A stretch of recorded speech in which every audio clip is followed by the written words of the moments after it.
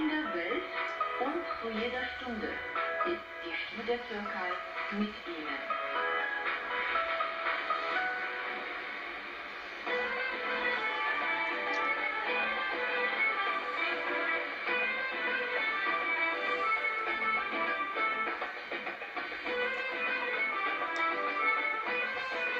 Türkische Küche.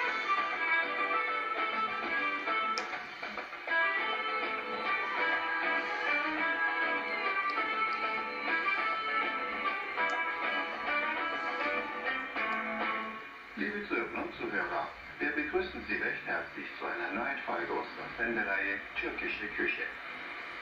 Unser heutiges Thema sind Innereien. Ein Teil der Menschen lieben Innereien, andere wiederum können sie nicht vertragen. Innereien ist der küchensprachliche Sammelbegriff für die essbaren inneren Organe von Schlagtieren, Wild und Geflügel. Die wichtigsten Innereien sind Herz, Leber, Niere, Zunge, Magen, Kutteln, Darm, Hirn und Lunge. Obwohl der Verkehr von Innereien in der Vergangenheit Küche und internationalen Küche sehr verbreitet war, werden Innereien in der Gegenwart immer weniger konsumiert. In der osmanischen Küche nahmen Innereien eine bedeutende Platz. In den Haushalten werden selten Innereien zubereitet. Aber dafür gibt es verschiedene Restaurants, die sich auf Innereien spezialisiert haben. In den Ischkembeci genannten Suppenrestaurants werden jede Art von Innereien angeboten. In diesem Zusammenhang wollen wir heute Pansensuppe zubereiten.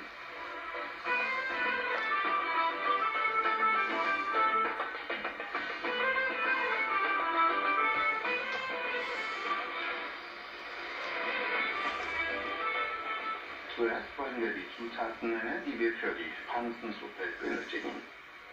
Halbes Kilo Kalbs- oder Hammelkuttel, ein Liter Wasser, zwei Esslöffel Milch, zwei Esslöffel Öl, ein Esslöffel Butter, ein Ei, eine Zitrone, ein halbes Glas Essig, sechs bis sieben Knoblauchzehen, Paprikapulver und Salz.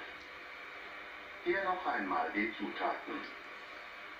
Ein halbes Kilo Kalbs- oder Hammelkuttel, ein Liter Wasser, zwei Esslöffel Mehl, zwei Esslöffel Öl, ein Esslöffel Butter, ein Ei, eine Zitrone, ein halbes Glas Essig, sechs bis sieben Knoblauchzehen, Paprikapulver und Salz.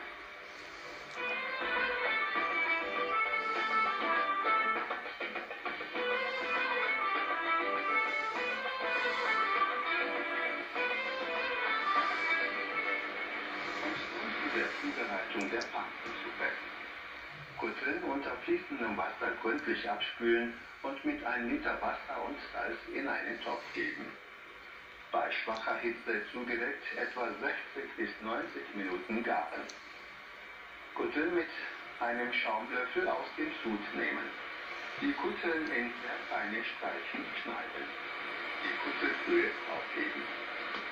In einer Pfanne zwei Esslöffel Öl erhitzen, Esslöffel Milch hinzufügen, rühren und leicht erhitzen.